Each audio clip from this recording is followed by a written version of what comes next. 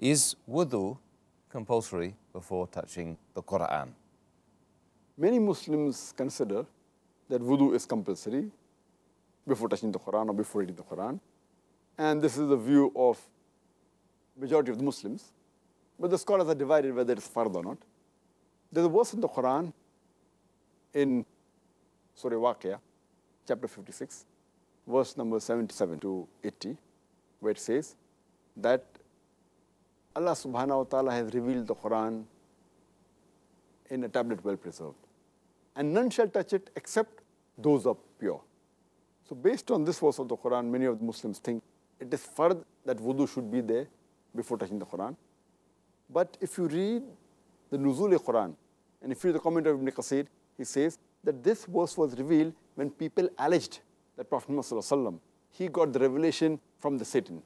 So this verse actually says that none shall touch the Quran. It's talking about the Quran in Lawh Mahfuz. It's not talking about the Mushaf of the Quran. This copy of the Quran, anyone can purchase it for $4, $5, 100 rupees, 150 rupees, easily and touch it. What it's talking about, that none shall be able to touch that Quran in Lawh Mahfuz, except those who are mutaharin. So the Kitab al-Maknoon is the book, the Lawh Mahfuz.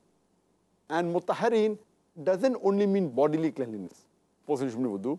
It means a person who's not only clean in body, but even in mind and soul.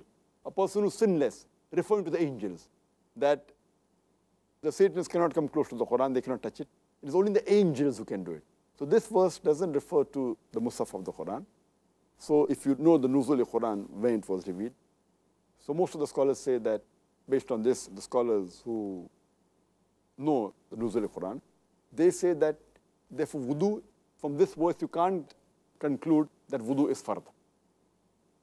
But most of the scholars agree it is mustahab, it's encouraged. It's preferable that a person should be in wudu when he reads or touches the Quran.